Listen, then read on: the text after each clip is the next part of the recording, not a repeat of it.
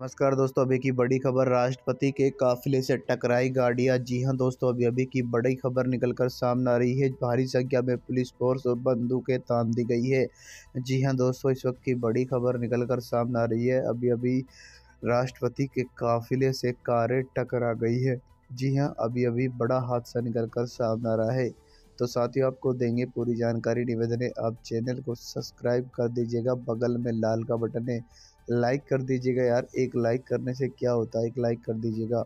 अभी की बड़ी खबर जो निकल कर सामने आ रही है, राष्ट्रपति के काफिले से जैसे ही कार टकराई है, भारी संख्या में पुलिस फोर्स तैनात कर दी गई है। वहीं पर ही बंदूकों की तानी भी हो गई है।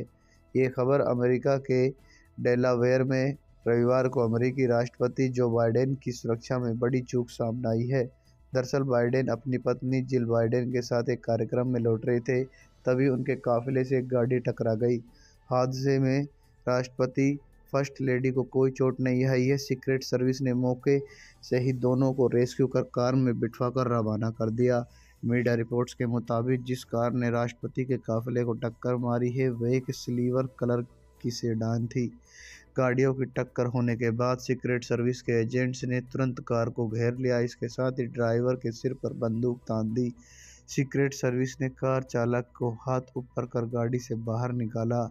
दोनों गाड़ियों की टक्कर बाइडेन से 40 मीटर की दूरी पर हुई। दरअसल बाइडेन और उनकी पत्नी कैंपेन के लिए डेलावेयर गए थे। दोनों एक रेस्तरा में खाना खाया।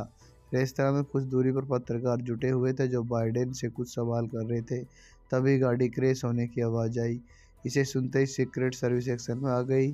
पत्रकारों को एक तरफ़ कर जानकारी दी गई कि प्रेसिडेंट को रेस्क्यू कर लिया गया है।